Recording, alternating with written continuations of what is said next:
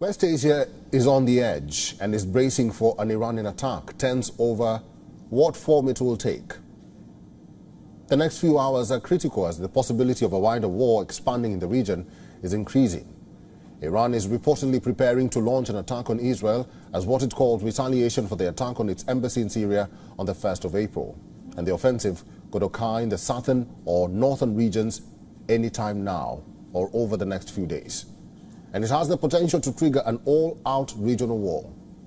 Senior U.S. officials have said that Iran, in all likelihood, will attack Israel before the weekend. According to reports in Israeli media, Iran can launch missiles and drones on Saturday.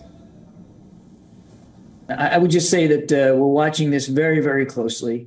Uh, we still deem the potential threat by Iran here to be real, to be viable, uh, certainly a, a, a credible, uh, and, and we're watching it as closely as we can. Iran has sent a message to the U.S. through the Arab countries, and I'm quoting them, if you intervene in a conflict between us and Israel, we will attack American bases in the region.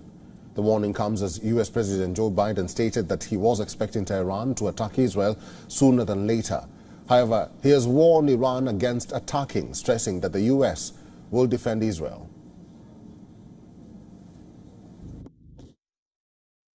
We are devoted to the defense of Israel. We will support Israel. We will defend, help defend Israel, and Iran will not succeed. Biden, who has been receiving constant updates on the situation from his national security team, the 81-year-old commander-in-chief also issued a one-word warning to Iran when a reporter asked Biden about his message for Iran amid fears of possible strike. Biden asserted, don't. What is your what is your message to Iran? What is your message to Iran right now? Mr. President, to Iran in this moment? Don't. Despite the fears of regional tensions escalating, Israel's military has said that they have prepared plans to respond to a possible Iranian attack. According to the army's spokesperson, Israel is ready for a wide variety of scenarios that include both defensive and offensive actions. In the last 24 hours, we conducted reviews of plans for a wide variety of scenarios following reports and declarations of an Iranian attack. The commanders presented to the Chief of Staff the plans for defending and attacking and adjusting the operational response in all the areas.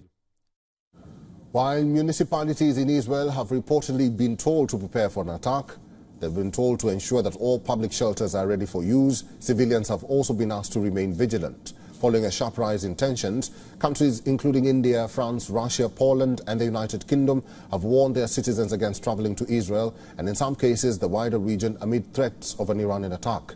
The French Ministry for Europe and Foreign Affairs has also advised its citizens against traveling to Iran, Lebanon, Israel and the Palestinian territories.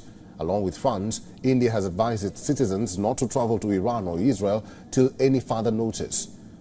Meanwhile, the U.S has asked its consulate staff in Israel to not travel outside the greater Tel Aviv, Jerusalem and Beersheba area. Moreover, amidst the heightened tensions, some flights have also been cancelled in Tehran or to Tehran. The German airline Lufthansa has extended the suspension of its flights.